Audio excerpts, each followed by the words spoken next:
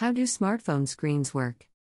On the surface of your computer screen, touchscreens must do something similar. Switches, membranes, and other pieces of plastic would obstruct the view of the screen below, so they can't utilize them. In order to detect your touch, they'll have to use even more sleight of hand. The mechanics of touchscreens. Touchscreens operate in a variety of ways.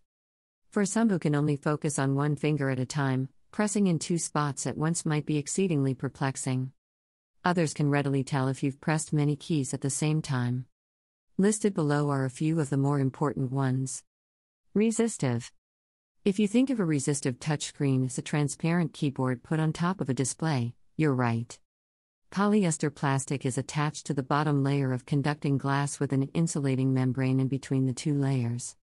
In the same way that you push a key on a keyboard, you force the polyester to contact the glass and complete a circuit. The coordinates of the area you touched are determined by a chip included in the screen.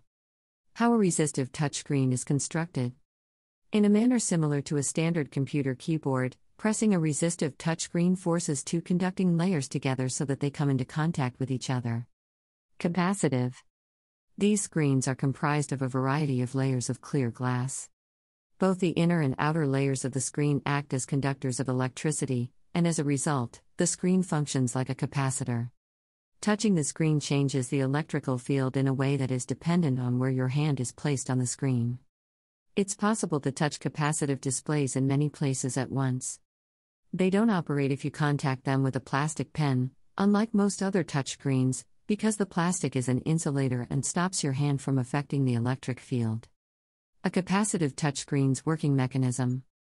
Every inch 2 of the touchscreen functions as a capacitor in capacitive touchscreens. The electromagnetic field that exists between the inner and outer glass is altered when your finger is brought near to it. Infrared. Infrared touchscreens, like intruder alarms, employ a grid pattern of LEDs and light detector photocells on opposing sides of the screen. An infrared spider's web appears in front of the screen thanks to LEDs. Two or more beams are interrupted when you touch the screen at a certain location. When a beam is stopped, a microchip within the screen can figure out where you've touched. With a touchscreen reader like the one shown in our photo, you can use an ebook like this. Using a pen or your finger on an infrared screen has no effect on performance since you are disrupting a beam. Infrared touchscreen operation principles. Tom Cruise had to sidestep the same magic eye technology seen in Mission Impossible as he used an infrared touchscreen. When you move your fingers near to the screen, invisible beams that flow between LEDs and photocells are broken. Acoustic waves on the surface. Rather of relying on light, this touchscreen technology uses sound to identify your fingertips. When a high frequency sound wave is created at the screen's edges, it is reflected back and forth across the screen. When you contact the screen, the sound beams are disrupted and part of their energy is absorbed by your finger.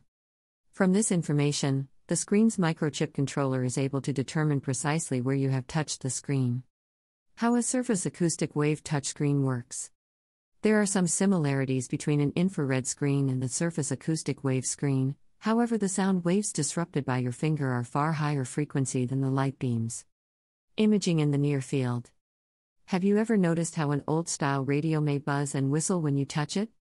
In and around the antenna, the electromagnetic field created by incoming radio waves may be affected by your body.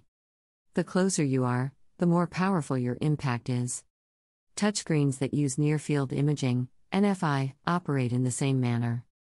In order to record your touch, you must bring your finger closer to the glass screen and alter the electric field. NFI screens, which are far more durable than some of the alternatives, are well suited for usage in harsh settings, like military use. These sensors are able to sense the touch of pens, styluses, and even hands covered in gloves, unlike most other technologies. How a touchscreen with near field imagery works.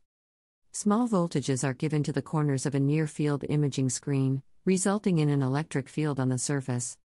The field changes as your finger approaches. Lightweight pens. An early version of touchscreen technology, light pens functioned in a different manner than today's touchscreens.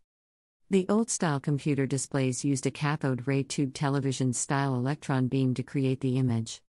Electron beams were detected by the pen's photoelectric cell, which sent a signal to the computer via cable. Since the computer could always tell where the electron beam was at any one time, it was able to determine where the pen was pointing. This illustration shows how light pens may be used to sketch computer graphics on the screen, rather than just selecting menu items or text. In 1973, a NASA scientist used a light pen to sketch on an IBM computer screen. In 1973, a light pen was used to draw on a computer screen. Though you can't see anything in this picture, there is a lengthy electric connection that connects the light pen to the computer NASA Ames Research Center provided this image, NASA ARC. Touchscreens have several advantages. There's no keyboard in this photo. It has an infrared touchscreen on the Sony ebook reader, described in more detail below.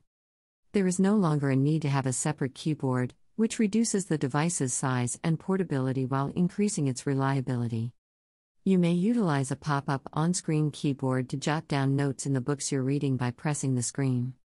Touchscreen technology has a lot to offer since it is so simple for people to utilize. As much information as is necessary for a certain activity may be shown on a touchscreen, guiding individuals through the process in a logical, easy to follow manner.